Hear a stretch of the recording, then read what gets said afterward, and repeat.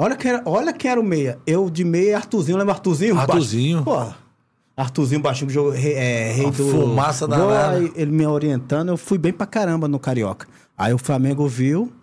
Primeiro, não, desculpa, primeiro foi o Botafogo. Naquela época tinha uma seleção que fazia dos times pequenos. Convocava. Você é novo. Naquela época. Mas eu lembro, os melhores do time pequeno, pra fazer um, um apanhadão. Isso, pode lembro melhor jogar. Aí o Botafogo tinha um amistoso no Japão. Olha, meu primeiro voo foi pra onde, meu irmão? Japão. Ih, rapaz. Imagina, meu Deus do céu, E aí? pro Japão, cara. Pô, foi, uma- foi, uma- foi tenso. Por quê? Pô, a primeira vez nunca andou de avião, pô. Andar de pau de arara, pegar avião, pô. Ah, quando tu veio de Garaçu pra cá, não foi de avião, não? Não, de avião, tá de brincadeira, GV, porra? Tá de Viajei, viajei, viajei, viajei. Aí, aí, tá de brincadeira, pau de arara, meu irmão. Três dias.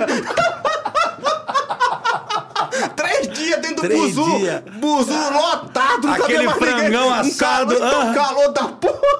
Caceta, é Pô, meu irmão. viajei. Aí é, meu irmão. E aí, primeiro, Primeiro voo, avião pro meu Japão. irmão, pro Japão, Porra, um dia viajando, eu falei, não chega nessa porra não, porque é o Japão, porra. Japão fica onde?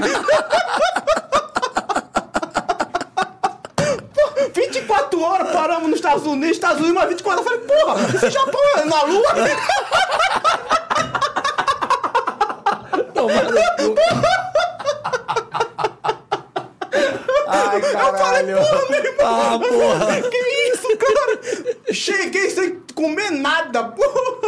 Mas foi uma experiência Mas boa. me conta, como é que foi no voo, cara? Eu quero saber do voo. Ah, foi foi tenso pra É, caramba. quem foi contigo lá do Flamengo? Ah, não, mas era seleção era, ainda. Era Botafogo, pô. Era os babas do Botafogo, assim. Baba eu tô falando, os Quem melhores. não Do... tava sendo. Tá. Aqui não tá sendo relacionado, né? E a gente, como os melhores da seleção do Carioca, foi junto.